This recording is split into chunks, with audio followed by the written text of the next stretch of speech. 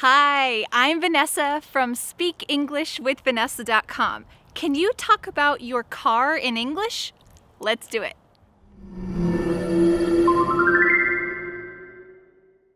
Today, you are going to learn a lot of car vocabulary. We'll talk about types of cars and also different parts of the car on the outside and the inside. I am not a mechanic, so these are all words that are known to normal people in everyday conversation. These are not specialized terms. If you have a car and if you need to explain different parts of your car in English, this is the vocabulary lesson for you. First, let's talk about different types of cars. This is a compact car. These are usually the smallest kinds of cars. Then we have a sedan. A sedan is a little bit bigger and it has usually four doors. This is a convertible or a convertible car. The roof of a convertible car can open. This is a hatchback. A hatchback has a special back part that opens up. This allows you to carry more stuff and it can be convenient if you often travel or carry large things like a dog crate. It can be helpful to have a hatchback. A pickup truck or a pickup or a truck. In a lot of places around the world, most people in daily life don't have a pickup truck because they don't need to carry lots of things, only if it's needed maybe for your job. But in the US, it is very common for normal people who don't need this type of car for their job to just have a pickup truck. Maybe they like to put uh, their bike in the back. Maybe they like to put some gardening supplies or uh, anything, but it's pretty common for normal people, everyday people, to have a pickup truck. This is a minivan, it's what I have. This is usually 100% only for families. All of the marketing, all of the features are for families who have kids, especially young kids, but it's helpful for any age of kids. There's a lot of space. The doors slide open, as I'll show you in just a little bit, so your kid doesn't open the door and hit someone else's car. There's just a lot of good features for families. This is an SUV. Those letters stand for Sports Utility Vehicle. A lot of people do not use this for sports. All of the advertisements show these big cars going off-road into the mud and doing some kind of adventure, but you know, the majority of people don't do that with these kinds of cars. They just like having a big car, it's safer, and I've been thinking about this because in the US, a lot of people have big cars. I have a minivan, this is a pretty big car. A lot of people have SUVs, and I think the reason for this is they are generally safer, a bigger car is safer, but when a lot of people have big cars, everybody else needs to have a big car too. I know in Europe, for example, small cars like compact cars are really common, but if 50% of people have a really big SUV, well, your compact car probably would feel really dangerous at that point. But because so many people have small cars in Europe, small cars are probably fine. This is just my theory about why Americans have big cars. Maybe they just like big things too, I don't know. but I think that uh, for me, I liked to have I like to have this car because it is safe, it has a lot of space, but also there are a lot of big cars on the roads, so I want to be able to stay safe talking about safety or lack of safety, this is a sports car. Sports cars are known for going fast, just for fun. Maybe you drive your sports car to work, but usually this is for fun. You drive on some mountain roads or you just drive really fast on the highway. This is a sports car. All right, now that we've talked about the types of cars, let's get looking at my car and take a look at all the different parts on the outside and then we'll go on to the inside. I just want to let you know it is incredibly sunny today.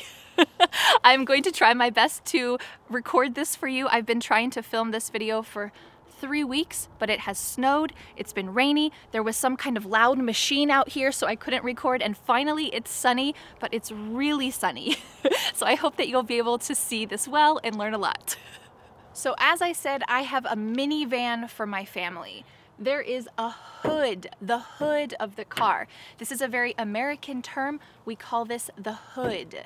Inside the hood is the engine and all of the other parts that a mechanic might look at. There are also the headlights here.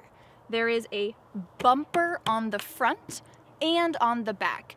This is if you get into a little accident, maybe you bump someone else's car with your bumper, then maybe your bumper will bend a little bit. Sometimes we call this your fender or on the back, your fender. And those types of small accidents are called fender benders. So if you call your friend and say, oh, I had a fender bender today, it means that it was just a small accident, you weren't hurt, but your car probably got a little damaged and it's gonna get fixed. This is the grill, the grill in the front of the car.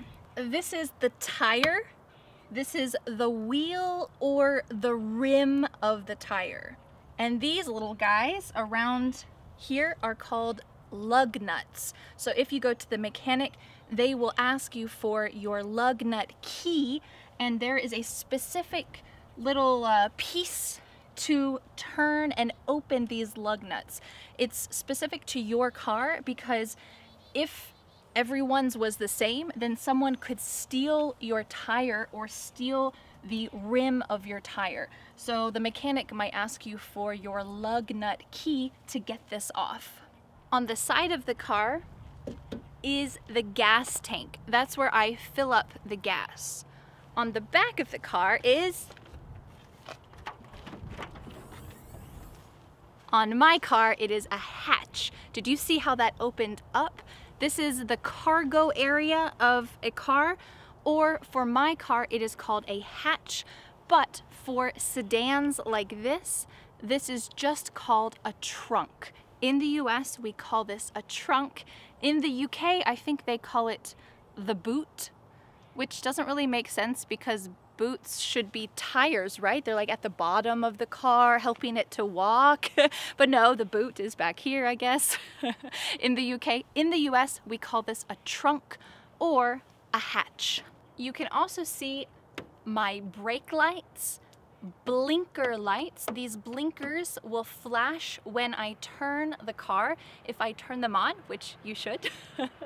and back here is my license plate. Before I drive, I need to use my remote, or some people call this a fob, to open my car. Some cars don't have this remote, especially if they're older cars, and you can just open the door with a key, a regular key. But my car has this little remote, so I will push the button and all of the doors are now unlocked. If you would also like to learn more vocabulary about daily life, I recommend checking out my video 120 kitchen items up here. You can learn about different words to describe the kitchen. All right, let's go inside the car. I'm sitting in the driver's seat. This is my headrest and beside me is the passenger seat. I have a back row. In fact, I have three rows. This is the first row, the second row is where my children sit, and the third row, because I have a minivan, is where guests can sit, or we can fold the chairs down and put things back there. I have car seats in my back seat. I have car seats because I have young children and they keep my children safe. We can say that their car seats are rear facing car seats. That means that they are not looking at the front of the car, they are looking at the back of the car. That's because my children are still really small, but when they get bigger, their seats will turn around and we can call them front-facing car seats. Even though the word car seat sounds very vague, it is always for a child. Yes, this is a seat, but we do not really call this a car seat because a car seat is only for a child. In some cars, you need to put the key in the ignition, but my car does not have that. I just have a button, and when I push the button, the car turns on. This is the steering wheel, the steering wheel. Behind the steering wheel is the dashboard. Let's take a look at that. On the dashboard, we have here the speedometer. Speedometer. That tells you how fast you're going. Right now, I'm just sitting in the car in my driveway, so my speed is zero. You will notice at the top that my car says MPH, miles per hour. And underneath that, there is like a little tiny, some little tiny numbers. Those are kilometers. So in the US, it shows miles per hour, but a lot of cars will show the conversion. So if you are used to using kilometers, usually there will be an option on the dashboard. Other important features on the dashboard are your fuel mileage here. Well, this is, shows if you are F or E, full or empty. Right now you can see I have a little notice that says low fuel. That means I need to get some more gas. Uh, another feature you can see over here is C and H. That is cold and hot. That will tell you if your engine is too hot. If it is close to H, it is overheating and you will have some problems. You need to stop immediately, but ideally it should be in the middle, not at C, not at H. Beside the dashboard, we have the center console. The center console. The main feature of this is the shifter. My car is an automatic car. That means that I do not need to think about gears. I don't need to think about first gear, second gear, third gear. That is only for a manual car. In the US, automatic cars, like mine, are the most common, but there are still plenty of people who have manual cars. In fact, when I was growing up, my family had only manual cars, and that's how I learned how to drive. And when people realize that you have a manual car, usually they're pretty surprised. um, but this is the first automatic car that I've owned, so that's just the way it is. well, if you want to use the shifter, that is how you will start driving. It is right now in park. We need to go to reverse to get out of my driveway, and then we need to go down here to drive. So all we have to do is pull it down to reverse, and I'll go backwards and then keep going down to go into drive, which will take us forward. Beside the shifter is the climate control. So there's heat and air conditioning and you can change all the different modes for that type of thing. Above that, there is a little screen that will help with audio, uh, music, radio. You can even use your phone through the screen. Uh, my computer, or my my car is not the deluxe luxury version, so you can't watch videos on there, but that seems like a really bad idea to me. if you're driving, you don't want to have that kind of distraction. Um, there's also vents. This is a vent that you can use to direct the air towards you or away from you. And of course, we can't forget on the steering wheel, the horn if someone does something that annoys you. Honk the horn. Inside the car, there is also a rear view mirror. This will help you to see out the back when you're going backwards and as you're turning. There are also side mirrors to help you see beside you and behind you when you're turning and changing lanes. If the sun is really bright, like today, you can put down your visor. Don't look at yourself too long in the mirror. And don't forget to put on your seatbelt. We can use two different verbs for this, to put on your seatbelt or to buckle your seatbelt. A common phrase is buckle up. So when you get in the car and you want everyone else in the car to put their seatbelt on, you can say, all right, don't forget to buckle up. All right, let's talk about the pedals in a car. There is the gas pedal, the brake pedal, and in my car, over here, this is the emergency brake. So when I want to park or if I'm on a hill and I need to park especially, I can push in the emergency brake. Some people have an emergency brake between the front two seats. There can be different places that the emergency brake is, but that's where it is for my car. Because my car is an automatic, I don't have a clutch. But here, if you have a manual car, you have a clutch, and you need to push the clutch whenever you want to shift gears. All right, when I am driving, I look out the windshield. Windshield, that is the big window in the front of my car. I also have windows on the side here. It's so clean, you can't even see. it's probably the only clean part of my car. But I have windows here that I can roll down. To roll down the window, I need to push a button and look at that. Great, the windows work. They roll down. It's a little bit strange because you saw that I used a button. I'm not actually rolling down the window physically, but it's because not too long ago, in fact, the first car that I ever drove had a crank and you had to physically roll down the windows. So we still use that verb to roll down the windows, but nowadays we just have a button. I can't believe that I forgot to talk about these really important parts of a car, and that is your windshield wipers. When it's raining, you need to turn on your windshield wipers so that you can see out the windshield. It helps the rain to go off of your windshield. You have a front windshield wiper, probably two front windshield wipers, and you might have a back windshield wiper on the back of your car. Also, don't forget your turn signal. When you flip on your turn signal, it makes your blinkers blink in the back of your car so that people know if you're turning left or turning right. Don't forget to turn on your turn signal or turn on your blinkers. And finally, even though I showed you the headlights on my car, there's also another feature called your brights. Your brights are an extra level of brightness on your headlights so that you can see at night. But when another car is driving the opposite way, you need to make sure that you turn off your brights. Notice that this is plural. Turn off your brights because you don't want to blind the other person. You want them to be able to see where they're going. So, this is useful when you're driving in really dark places.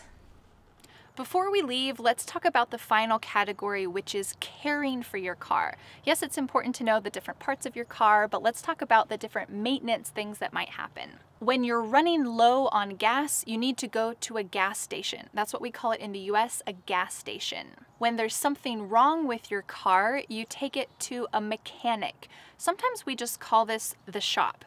My car is in the shop. Where's your car? It's in the shop or I need to take my car to the shop. And the shop in this context means the mechanic.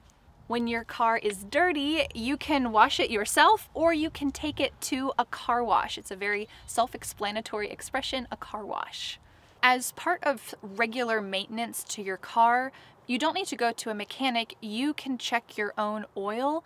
You can check the oil by opening the hood and pulling out, we call it a dipstick. It looks like this. You can pull out the dipstick. You can also check the tire pressure with a pressure gauge. Usually your car, if it's a somewhat newer car, will give you a warning on your dashboard if there is low air in your tires, but maybe that light or that warning is not working, so you're gonna need to check it yourself to make sure that you have enough pressure in your tires. All right, do you feel ready to talk about your car in English? I hope that this lesson was helpful for you. I hope the sun wasn't too bright.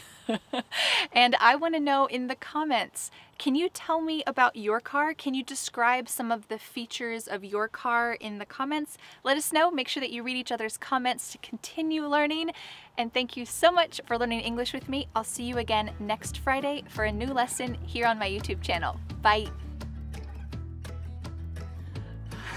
Oh my gosh, all my neighbors are like walking around outside since it's so beautiful today and I feel so embarrassed. hey, how you doing? I don't know if she saw that I was recording. Maybe she thinks I'm talking to myself. my neighbor's trying to drag his trash so slowly so that it's not loud. I could never be a, a vlogger who does this in public. It's so embarrassing. to just be talking to a camera. I guess you get used to it, but I would rather not do that. if you're worried about my video, don't worry about it. the next step is to download my free ebook, Five Steps to Becoming a Confident English Speaker. You'll learn what you need to do to speak confidently and fluently. Don't forget to subscribe to my YouTube channel for more free lessons. Thanks so much. Bye.